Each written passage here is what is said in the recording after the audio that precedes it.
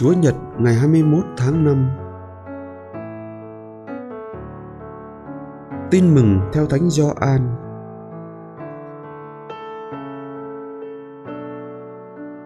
Khi ấy, 11 môn đệ đi tới miền Galilee, đến ngọn núi Đức Giêsu đã truyền cho các ông đến.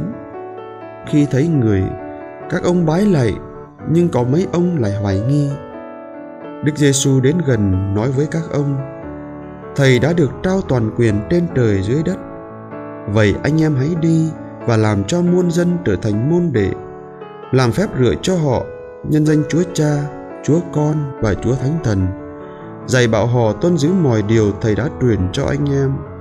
Và đây, Thầy ở cùng anh em mọi ngày cho đến tận thế.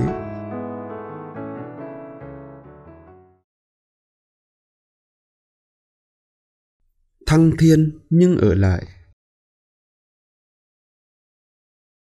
Một nhà văn người Anh từng nói Có thể vai trò của chúng ta trên hành tinh này không chỉ là thờ phượng Chúa Mà còn là sinh ra người Biến cố thăng thiên như một điểm kết thúc cuộc đời dương thế của Đức Giêsu, nhưng lại đánh dấu cho một khởi đầu mới của các môn đệ, của hội thánh và cũng cho một triều đài hoạt động của Chúa Thánh Thần.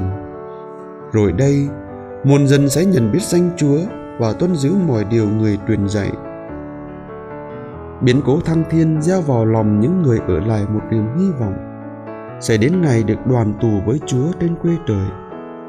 Và trong khi chờ đợi ngày ấy nơi trần thế, chúng ta cần tiếp tục sứ mạng loan báo tin mừng cho muôn dân như lời Đức Giêsu truyền lại. Chúng ta không rao giảng tin mừng như tranh thủ làm thêm một việc tốt trong khi chờ ngày về bên Chúa. Chúng ta loan báo tin mừng vì cảm nhận được tình thương của Chúa qua bí tích rửa tội, qua đời sống ân sủng trong Chúa, trong vòng tay ấm áp của mẹ hồi thánh. Quả thật, phàm ai đã lãnh phép rửa thì đều được sinh ra cho đời sống mới, một đời sống trong thánh thần. Sự sống thần linh đó không phải là sản phẩm để chúng ta tiếp thị, chào bán, nhưng là kho tàng để trao tặng, truyền thông và công bố.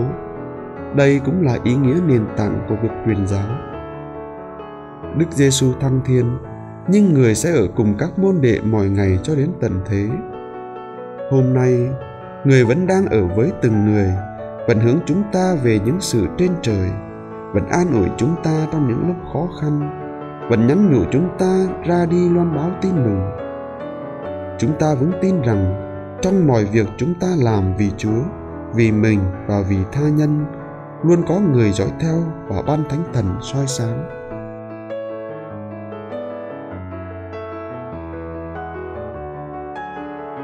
Lạy Chúa Giêsu là vầng dương chiếu tỏa tình yêu Chúa Cha, là niềm hy vọng hồng phúc bất diệt, xin ở cùng chúng con luôn mãi. Amen.